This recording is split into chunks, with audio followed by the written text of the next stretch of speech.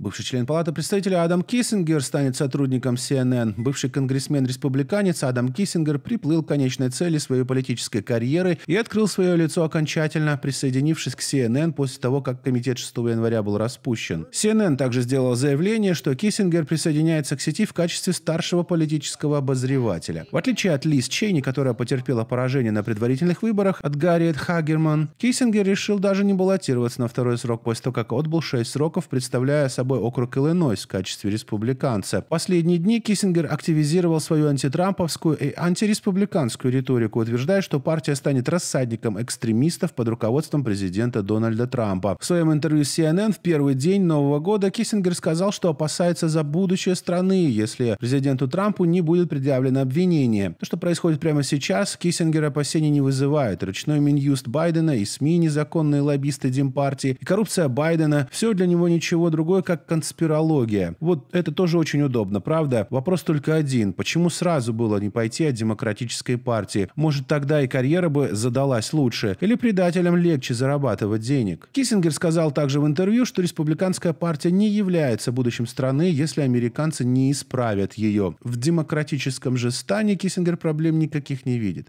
Я должен вам сказать, что если вы думаете об успешной Америке через 20 лет, это не будет Америка, основана на том, чего хочет Мэджори Тейлор Грин, или чего хотят некоторые из этих радикалов. Единственный способ добиться успеха в этой стране – это научиться работать вместе, сказал он.